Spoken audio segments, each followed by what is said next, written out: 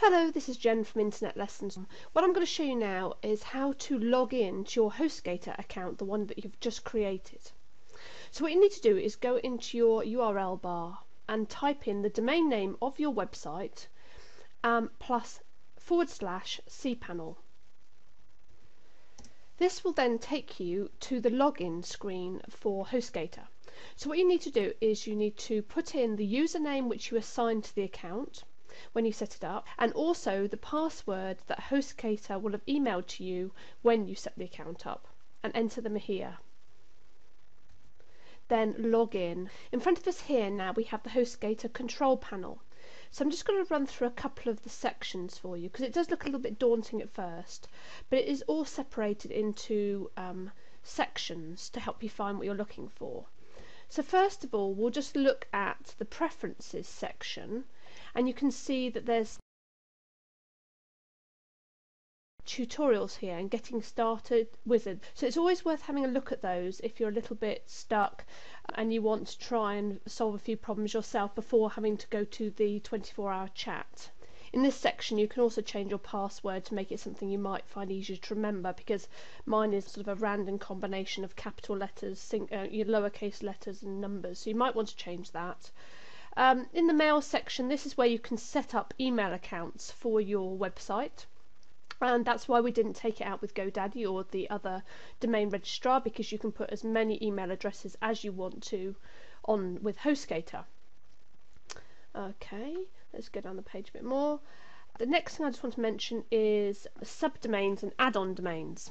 Because initially I got a bit confused to which was which here. But basically an add-on domain is an additional domain. So if you want to have, say if I wanted to have internet-lessons.co.uk, it would be an add-on domain because my original one is .com, but I might want to add on .co.uk I might want to have a second website with a completely different URL stored on here. So what I would do is I would add it through the add-on domains.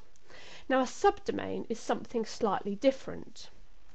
I'll show you what a, a subdomain is. So what I've done is I've opened up a Google search and I've typed in success for you2 and if you look at this website uh, here success for you2 that is the main domain the successforyou2.co.uk but the fitness part at the beginning is a subdomain.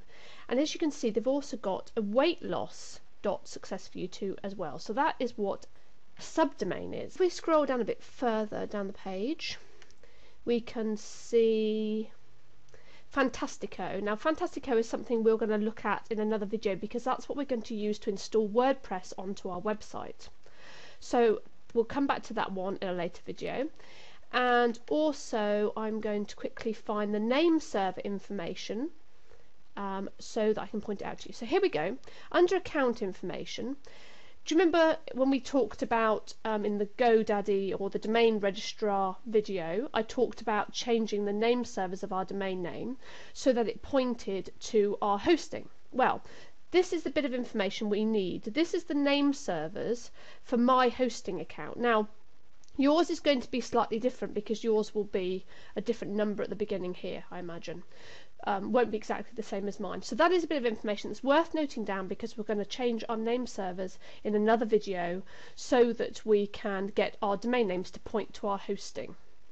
Okay, well that's a little brief overview of this control panel of um, HostGator. Um, and also another thing to just point out to you, it's very useful because you can get an information on your traffic. So here, for this um, domain name, this is the traffic that we've got. So um, it does all sorts of things for you. It gives you analytics, it lets you set up your emails, it lets you add subdomains, add-on domains, and no extra cost for all these sort of things with HostGator. So um, have a little look around and familiarise yourself with the control panel. And I'll see you in the next video where I'll show you how to change the name servers for your domain name. This is Jen from Internet Lessons. Thanks for watching.